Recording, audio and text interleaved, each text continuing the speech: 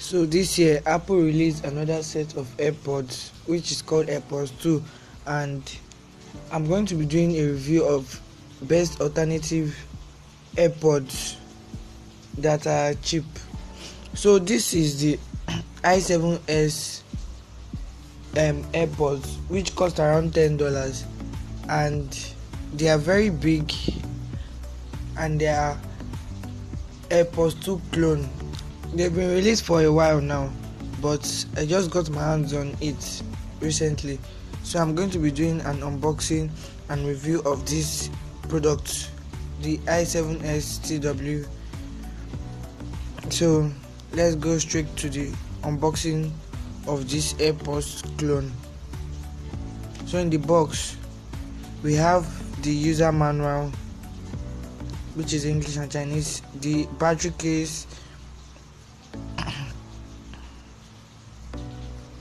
the AirPods themselves, which are very big.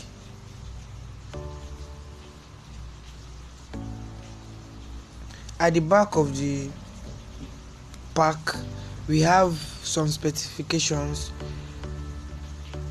which let me highlight some.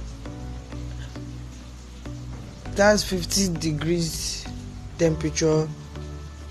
It's um to charge this device it takes one or two hours to charge the playback time is for what i've seen is 15 minutes. And to connect these earbuds to for it to work together you have to press both buttons both power buttons together then to connect to each other then on your bluetooth and connect it to your device this device doesn't last and they are really fat they are really heavy they are painful in the ear and i don't really like them. At the back of the battery case we have a micro usb charging port. Anytime you're charging this device it's always showing red inside then blue outside. I don't really like these airpods but for this price ten dollars is very cheap and affordable. Like i said earlier there are airpods alternatives which are which are a budget value a cheaper value. So if you really want to be a big boy you want to show off you can buy this. Meanwhile there are other alternatives of the airpods and you can get them at a more cheaper price and at a better value.